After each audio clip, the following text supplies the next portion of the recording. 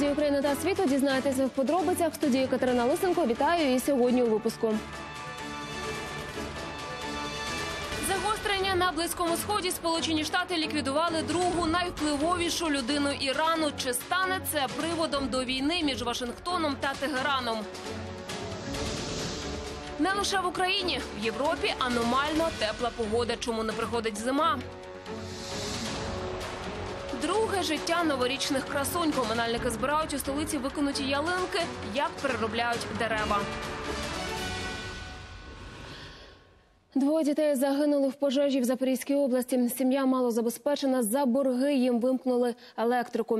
Трагедію ймовірно спричинили свічки, якими освітлювали житло. З'ясовував ситуацію Сергій Бордюжа.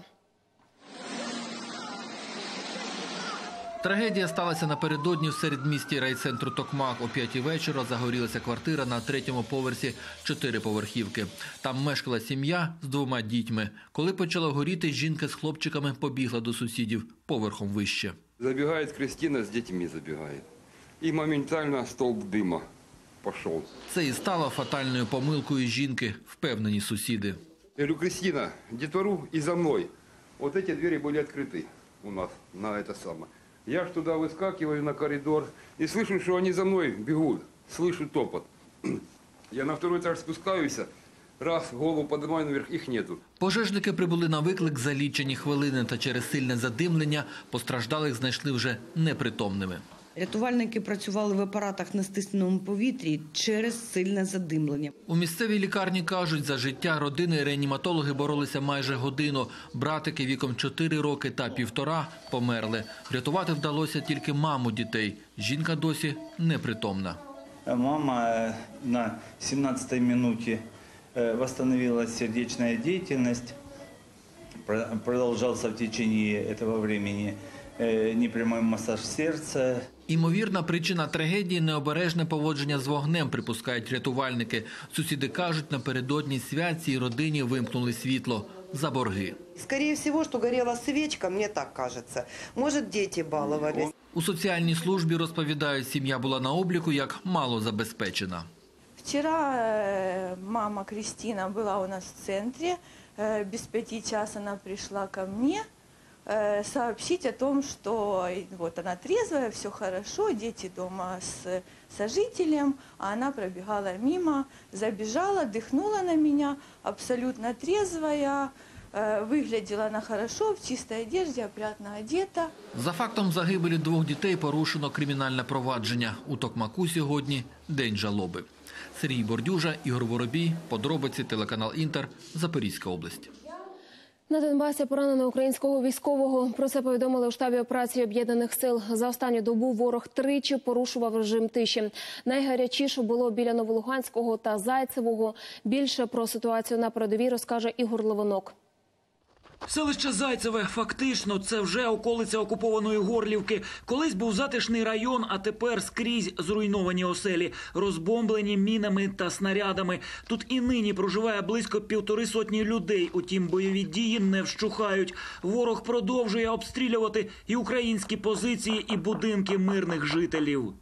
Ось, будь ласка, бачимо наслідки так званого новорічного перемир'я. Бойовики вдарили по селу. Внаслідок потрапляння займистих куль загорілася людська хата. Бачимо, що будинок вигорів ущент. Пожежа сталася саме у новорічну ніч. Хата занедбана, в ній ніхто не жив. Чому найманці її розстріляли? Наші бійці й гадки не мають. Жодних позицій поруч. Хлопці кажуть, вочевидь, бойовики були на підпитку. Близько опівночі противник відкрив вогонь трасерами, і трасера полетіли в населений пункт Зайцево, підпалили будинок. Ми оперативно надали допомогу, по... помогли загасити пожежу. Ну, у них новий рік свято, рішили і нас привітати. І вони вирішили нам показати ж таки салюти і постріляти в нашу сторону. І привітати, напевно, і місцевих жителів. Прямуємо до нульових позицій. Цю ділянку утримують бійці Національної гвардії. Хлопці спостерігають за супротивником. Ніч традиційно була неспокійною, і день видався тривожним. Вони напилися та почали гасити, коли тільки бачать. От такі справи. О. Чуєте, так? Ну, бачите, постійно по нам працюють. Не, не замовкають. Тобто, нічого, ми впораємося, ми настрій бойовий, хлопці в доброму настрої, тобто не бояться, знають, що робити, що саме головне. Е, Роблять все професійно, швидко. Тобто за професійність е, можна їхню тільки буде впевнений. Бійці кажуть, таке тут відбувається, мов за розкладом. Найманці активізуються зазвичай, коли сутеніє. До ворога рукою подати. Просто скучно людям. Ми сидимо на посту, дивимося, наблюдаємо, спостерігаємо, щоб нічого там не трапилося. всього. А вони так рішили, так розлікаються, то кожен божий вечір. Оце що, бабах. Це по звуку вроді би як 82, по-моєму. А в такі часи, коли тут панує нетривка тиша, треба бути особливо пильними. Можуть працювати ворожі диверсійні групи. Тому українським захисникам не до свят. А ви як зустріли Новий рік? Ну, нормально, по путі на пост. Поїли олів'є перед постом та й пішли. Нести службу, так. Із Донецької області Ігор Левинок, Дмитро Курченко, Ігор Щепет. Подробиці. Телеканал Інтер. У новому році авіаційний парк Міністерства внутрішніх справ поповнився новим гелікоптерами. В Україну прилетіли два одномоторні вертольоти H-125. Як використовуватимуть машини та які їхні можливості, розкаже Олена Логінова. На плац сідають два нові гелікоптери H-125 французької компанії Airbus Helicopter. Ними послуговуватиметься Державна прикордонна служба України під час службових завдань для спостереження за кордоном і навчання пілотів. По функціоналу предназначені для моніторингу е, державного кордону і в подальшому сили авіаційної безпеки Міністерства внутрішніх справ будуть тільки нарощуватися. Уже ми очікуємо в цьому році отримати ще 5 вертольотів H-225 для Національної гвардії і Державної служби з надзвичайних ситуацій і два вертольоти H-145 для Національної е, поліції України. Е, Крім того, плануємо е, запустити сервісний центр для обслуговування, е, підготовку е, пілотів і е, технічного складу для обслуговування вертольотів. У МВС України модель H-125 називають лідером у лінійці легких вертольотів. Саме тому вони найкраще пристосовані для спостереження за кордоном. Модель маневрена, економічна, функціональна і потужна. Має велику дальність польоту і може перевозити шістьох пасажирів. Вони надзвичайно е, пристосовані для того, щоб е, здійснити моніторинг е, ситуації. І якраз наступні 200 125, які будуть поставлятися, вони поставлятися будуть з спеціалізованим обладнанням для відеонагляду, для передачі сигналу, е, для того, щоб було е, надійно здійснено захист державного кордону, моніторинг е, ситуації на державному кордоні. І це якраз е, надзвичайно вдала модель саме для такої функції. Ці два е, гелікоптери вони будуть в першу чергу використовуватися для того, щоб максимально підготувати наш льотний склад, який є діючий у Державній прикордонній службі. У Держприкордонслужбі наголошують, нові гелікоптери завдяки економічності зможуть перебувати у повітрі у п'ятеро довше. Цей гелікоптер він надзвичайно економічний. Якщо взяти порівняти його ну, з умовно аналогом нашим Мі-8, який є на озброєнні зараз в Державній прикордонній службі, то економічність його становить в 4-5 разів. Е, Він потребує пального менше. Тобто ми зможемо на одній і тій ж кількості пального просто здійснити в 5 разів більше вилітів. Планується, що в рамках договору з французькою компанією Airbus Helicopter протягом року в Україну прибуде ще 10 вертольотів і для інших підрозділів МВС. Олена Логінова, подробиці, телеканал Інтер. Чи почнеться війна між Сполученими Штатами та Іраном? Цілком серйозно обговорюють зараз політики і військові експерти. Усе це наслідки спецоперації, в якій американські військові вбили в районі аеропорту Багдада іранського генерала Касема Сулеймані, командувача сил спецпризначення корпусу вартових ісламської революції. Як усе було? До чого це може призвести? І що відбувається зараз у самій Америці? Дмитро Анопченко докладніше. Сьогодні вночі за київським часом біля аеропорту Багдада, в околицях якого розташовані американські військові бази, пролунали потужні вибухи. Ракетні удари завдавали з безпілотників по колоні автомашин, що рухалася автострадою. Згодом стало відомо, це спецоперація Пентагону, мета якої усунути генерала Касема Сулеймані, людину з чорного списку ООН, причетну до розробки ядерної та ракетної програми Ірану. США звинувачують його і в організації недавнього нападу на своє посольство в Багдаді. За даними МЗС Ірану, під час удару разом із Сулеймані полягло ще 10 людей. У Пентагоні загибель Сулеймані підтвердили. У заяві американського військового відомства йдеться, що удар розпорядився завдати особисто президент Трамп. Журналісти наводять подробиці, утримані від джерел обізнаних із ходом операції. Трьома годинами раніше була ще одна атака дронів, але тоді генерал не постраждав. Тіло генерала впізнали по каблучці на пальці, і військові зараз чекають результату аналізу ДНК, щоб впевнитися, загинув саме той, на кого вони полювали. Іракська влада зараз запевняє, що американці діяли у повній таємниці і не повідомили про операцію, що готується ані їх, ані коаліцію. Так само не знали нічого і в конгресі, і це зараз викликало різку критику дій Трампа. Мовляв, він не відає, що творить, і втягує світ у нову затяжну війну.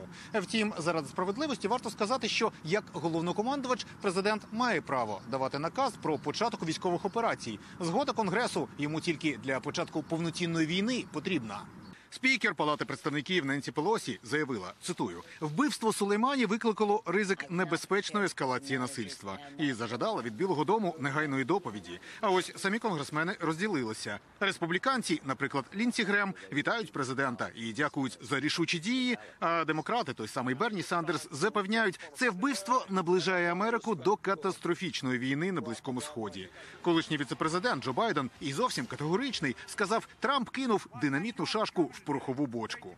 Побоювання політиків не безпідставні. Іран, якщо і не відповість війною, аналітики вважають, що це малоймовірно, то відомститься. І хто знає, де саме завдадуть удар у відповідь. Вашингтон вже закликав всіх американських громадян негайно залишити Ірак за можливості скористатися найшвидшим засобом пересування літаками.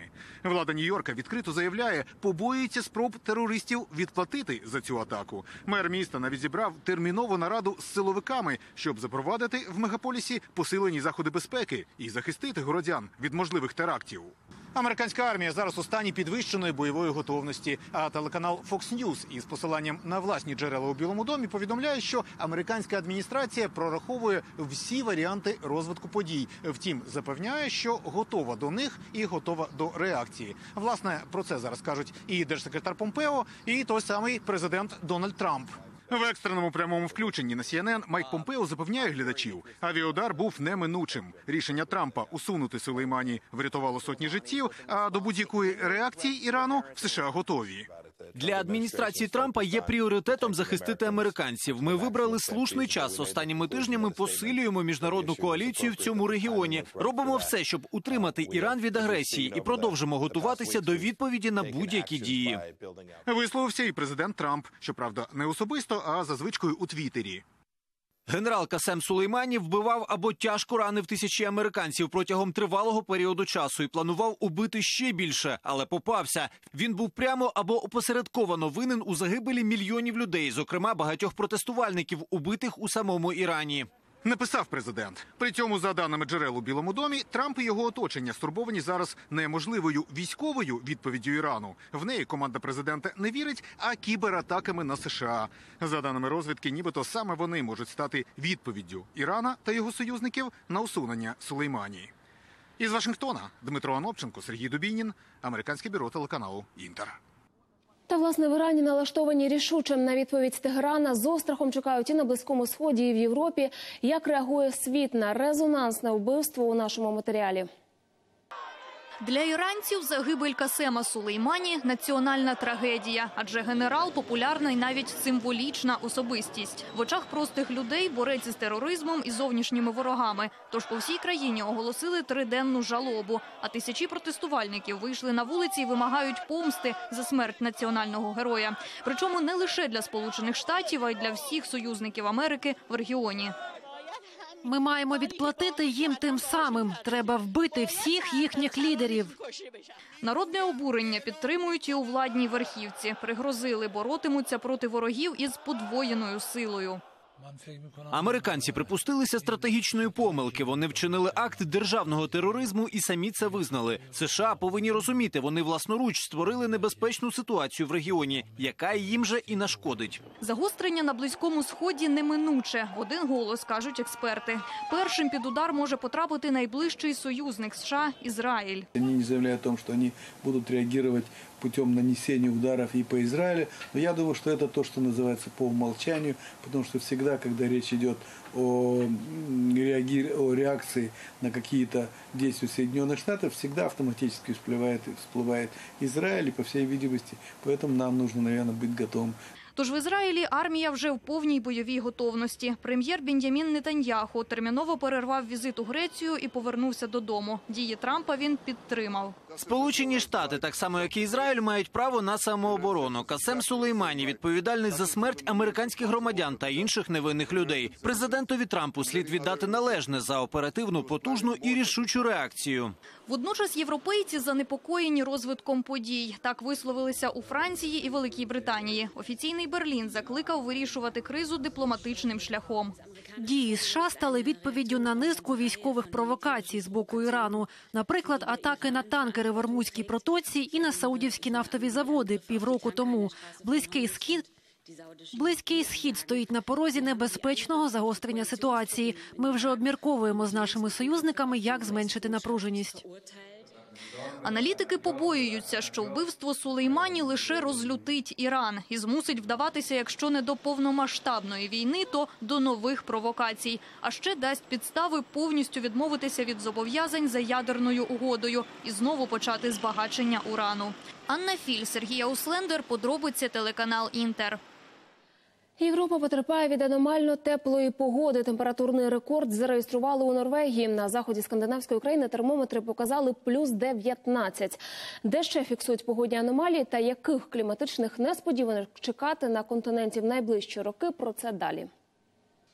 Січень за календарем. Івон Голд, мер норвезького муніципалітету Раума, влаштувала собі зимовий заплив у фьорді. Погода сприяє. У цьому регіоні, у селі Сундальсора, напередодні зафіксували температурний рекорд – плюс 19 за Цельсієм.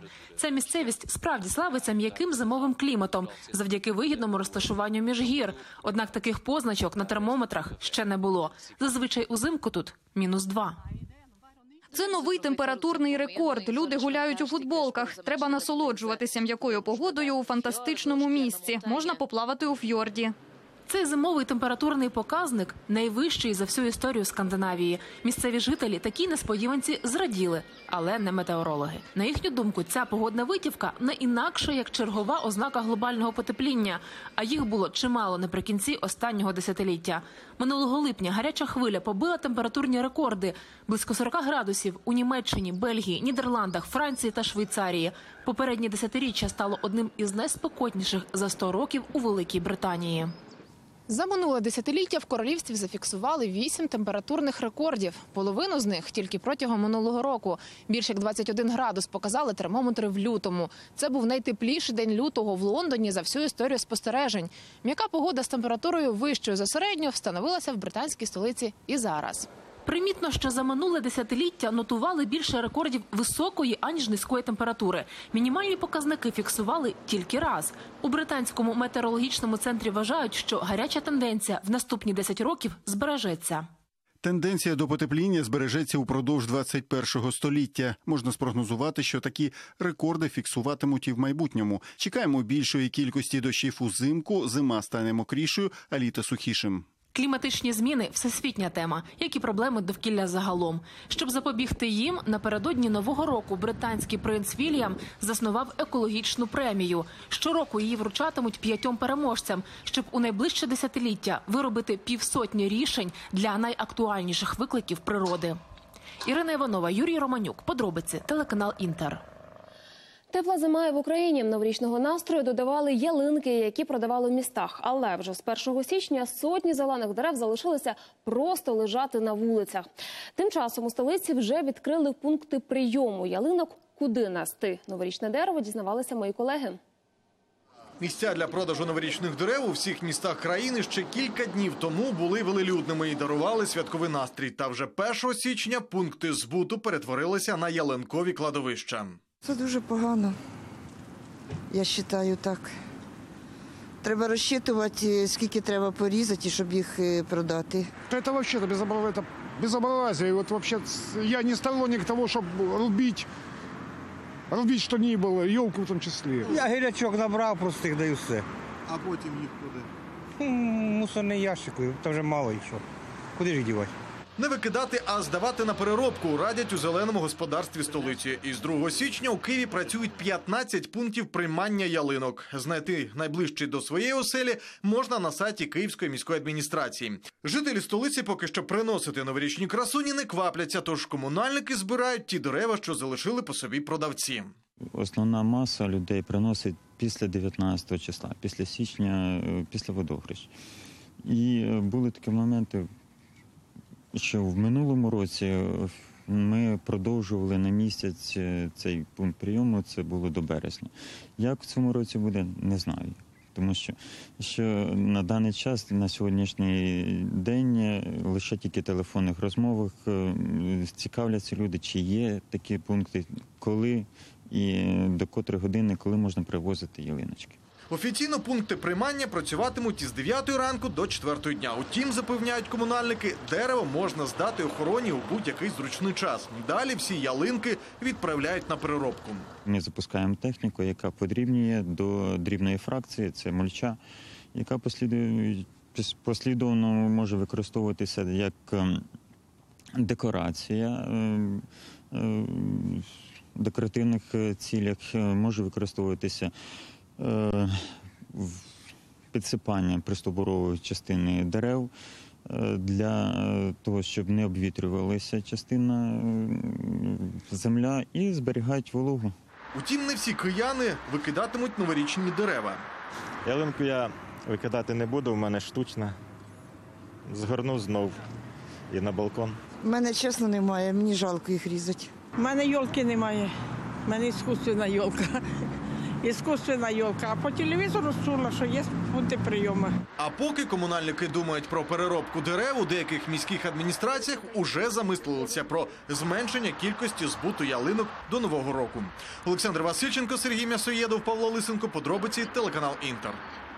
З екрана на лід найкасовішу анімацію за всю історію існування студії Діснея «Крижане серце відтворили у феєричному льодовому шоу. Прем'єра відбулася сьогодні у столиці. Враження від Ірини Розової. Оскароносна казка про сестер Анну та Ельзу відразу була визнана найкращим діснеївським повнометражним мультфільмом. Цього року історія крижаного серця ожила на льодовій арені столичного палацу спорту. Пережити улюблену історію кохання наживо глядачеві допомагають команда професійних фігуристів з 11 країн, а ще неймовірні спецефекти.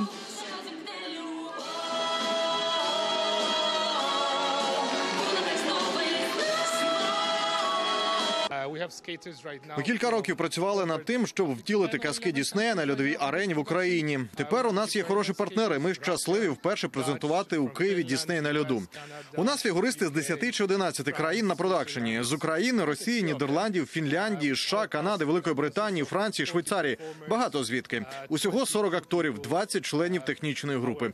Так, у нас задіяно багато людей, але якщо хочеш бути частиною дійства, взуй ковзани і покажи, що вмієш. Шоу Дісней на льоду привезли в Україну з Америки в рамках гастрольного туру європейськими країнами. За хореографію відповідає тренер олімпійських медалістів і чемпіонів Сінді Стюарт. За декорації лауреат численних премій Еммі Стів Бас. А сценарісти Адам Вілсон і Мелані Вілсон працюють зі студіями Марвел і Нікелодіон. У день прем'єри льодового шоу зала була переповнена. Дуже такий уровень хороший, такі костюми гарні, краски. Знаєте, як ну, наче м- мультик перенесений на сцену. Ну, дуже подобається. Мені дуже він дуже класний. Я трішки там помітила, що воно вони трішки там е, швидше це роблять, бо е, сам мультик е, дуже довгий. Понравилось, как э, выступали, как пели песни, как э, танцевали на льду. Это очень красиво. День катався на лісах. Как олень катался на лыжах, нам понравилось очень.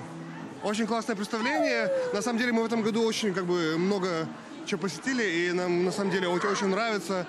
В том плане, что с каждым годом становится все круче, интереснее, много спецэффектов уже добавляются. Поэтому, ну, класс, супер.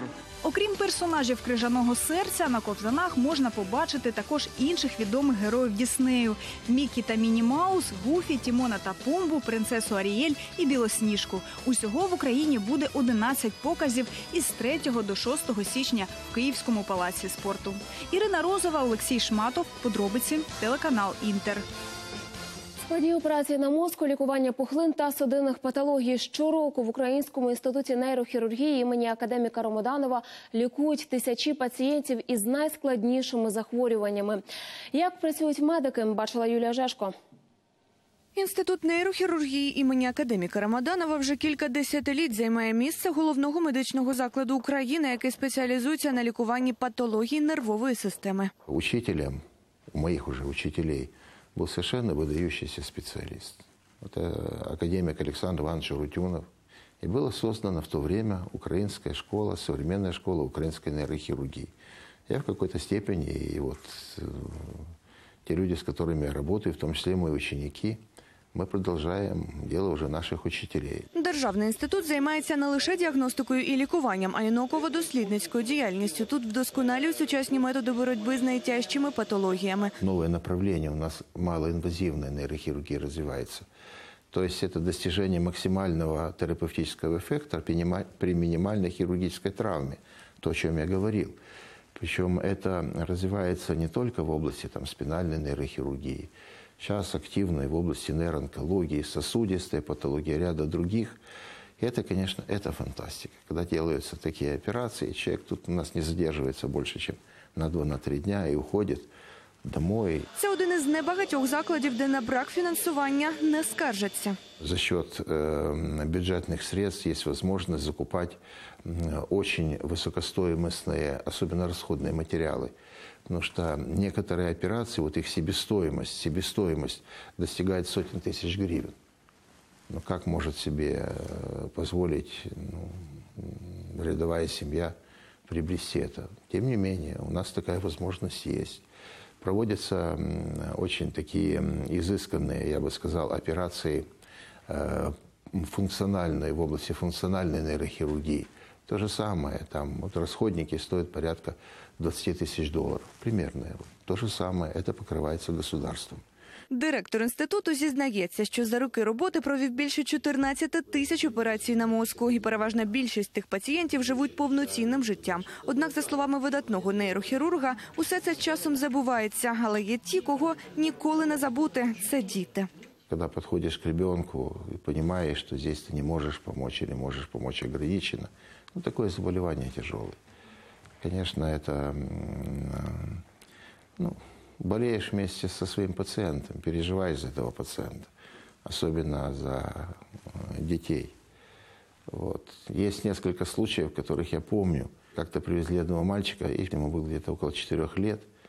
Мальчишка славный вместе с мамой. Мальчику не двигается ни рука, ни нога. Ну, он приезжал уже взрослым, состоявшимся уже таким человеком. Я говорю, вот это испытываешь настоящую радость за то, что ты как-то соприкоснулся к этому процессу помощи. Ну и таких случаев, конечно, немало. Окрім операцій на мозку, тут спеціалізуються на лікуванні пухлин, серця та судинних захворювань. Внутрисуистые операции, они сейчас распространены довольно широко и в кардиохирургии, и в других направлениях. Но вот в отношении нейрохирургии это особенно важно, потому что удается без трепанации черепа Нова техніка для цього закладу це норма, адже одна з умов роботи в нейрохірургії максимальна точність. Тут обстежуються хворі з церебральною патологією. Це, що розташовано у порожнині черепа. Ми бачимо тут е, комп'ютерну томографічну ангіографію, при якій контрастуються судини мозку. Якщо у хворого є вада розвитку судин, а це на- на- найчастіше аневризми, то ми їх таким чином виявляємо. Хворому всього-навсього внутрішньовенно вводиться контраст. Варто зазначити, що одним із головних досягнень інституту є відділення функціональної нейрохірургії та моделяції. Тут позбавляють людей найтяжчих хвороб ЦНС, таких, що викликають напади та позбавляють елементарних фізичних можливостей. В мозок імплантуються спеціальні такі електроди, діаметр якого 1 мм. Потім під шкірою підшивається генератор, нейрогенератор, який генерує ці імпульси. І вони під шкірою проводяться такі провідники, які сполучають, з'єднують цей генератор з, з тими електродами, які розміщені в мозку. І лікар може через шкіру, тобто трансконтально, дистанційно, йому може задавати різні параметри цієї стимуляції. І за рахунок цієї стимуляції у людей повністю припиняються симптоми захворювання. Уже за два тижні люди з тяжкими вадами приходять до кабінету лікаря рівною ходою і без ознак хвороби. І хоча в інституті використовують суто науковий підхід, бувають випадки, коли навіть безнадійні пацієнти одужують і живуть повноцінним життям. З Євгенієм Піда- в мене менше, слава Богу, зв'язків таких е, лікарняних, Е, але ж він зробив стільки е, для нашого народу, для людей, які приїжджають з інших держав для того, щоб отримати е, настанови лікарські, отримати е, результати. Є люди, які робщуть, що кажуть, от лікарі там не доглянули, нічого подібного. Якщо захоче Бог, щоб людина жила, то буде лікар в допомозі. Якщо не захоче Бог, щоб людина жила, нічого не буде. Юлія Жешко, Василь Синіцин, подробиці, телеканал Інтер. Більше новин, як завжди, на нашому сайті подробності є. А в прямому ефірі побачимося вже завтра. Я бажаю вам гарного вечора та до зустрічі.